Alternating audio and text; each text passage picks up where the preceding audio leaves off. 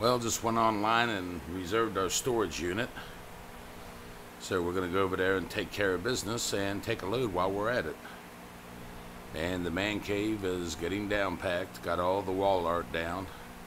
Taking that, of course. I'm going to hang that in our new little home base storage unit somewhere. But yeah, all uh, my gas signs and all that good stuff are down. The tools that I'm keeping, I've already got loaded up. My Porter cable plunge router, profile sander, all the good stuff.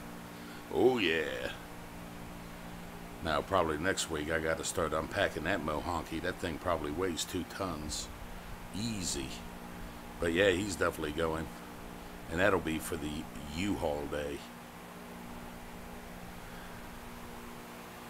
Yeah, this was a great man cave. And probably tomorrow the Christmas crap will go. We'll definitely take all that stuff except the candy canes. Screw them. But our inflatable polar bears, Santas, and all that good stuff, that's definitely going. And what a beautiful day. It's been raining for like three and a half weeks straight. Couldn't get crap done.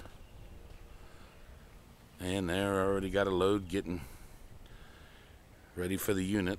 Some household stuff, of course, the portable tools that I'm going to keep, the good stuff, and my laser level and all that good stuff. Yeah, continuing with the process, poco al poco, little by little, every day.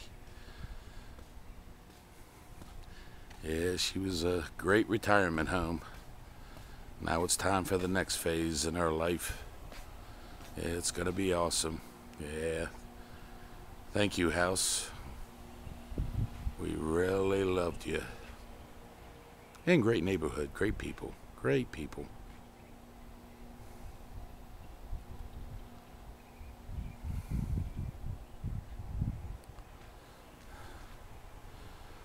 All right, and that ends that little memory clip.